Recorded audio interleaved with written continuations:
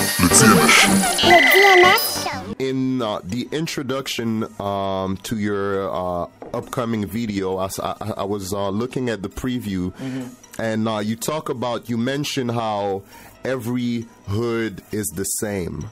Right, whether it be in the east or in the west side of Montreal, um, according to what you're saying, it's all the same thing. And I wanted to make that same parallel between Montreal and Brooklyn. Okay. Would you say that um, ghettos or you know the hoods here in Montreal uh, share a lot of similarities with the hoods in uh, Brooklyn. Oh, mo- most definitely. You know, to me, like I said, you know, I've been around. You, f- you feel me? From Europe to, I- I'm going on the bigger scale here with you. You feel me?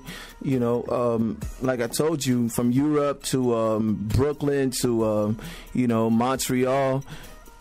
You know, I, I don't need to go else- elsewhere.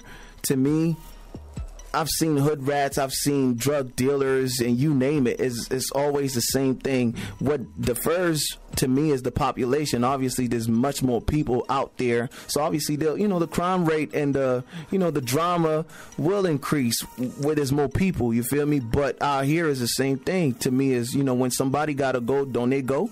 They go. You know what I mean? So But that's do you, it do you really feel, are you saying here today at the DMS show that the intensity is the same in Brooklyn as in Montreal? what do you mean by Well, that? by intensity, I Intensity, mean what? uh, uh, uh, of the crime because it.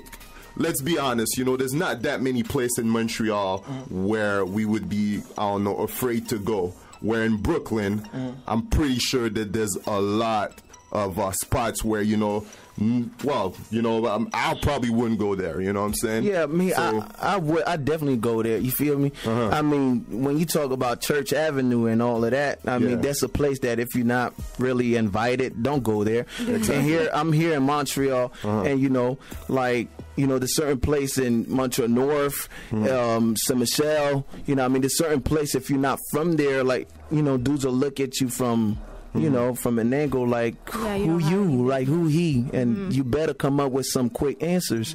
You feel me?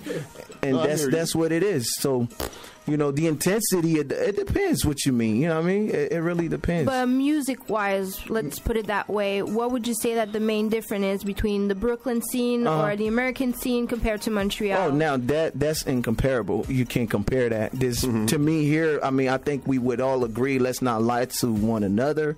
This is not really a scene here. You know what I mean? It's just still, saying it's that. still, you know, it's it's still a virgin market. It's it's up for grabs. So, um, you know, over there, it's everything is happening. You know I mean? Obviously, if you look at the pros and cons out here, because there's no scene, that's a disadvantage. But you know, it's it's up for grabs. Like I said, you know, mm-hmm. anyone who is to to pop the, you know what I mean, to pop the cherry to me is like, okay, you make it and you king here, you know what I mean, mm-hmm. because there's no competition. You monopolize the game. But on, you know, on the other side, the competition is a lot. You feel me? Right. And um, but the opportunities are there, though. But you know, the competition is also, you know, tremendous. And would you like to go back to Brooklyn and try to have a career there? Um, if I had to, it, dep- like I said, we'll see. Right now, I'm not really thinking of that. You know what I mean? I'm doing my thing. I got um, I got people that I'm working with right now. I'm really content, and um, yeah, we'll we'll see where this thing is taking us. And how about your uh, professional athlete career? Do you think about Done. that? Done? Done. Completely done? Done. There's no coming back? No. Ever? No, I start crying when I start touching the ball. All It's- right, that- that- that's how that's how bad it gets.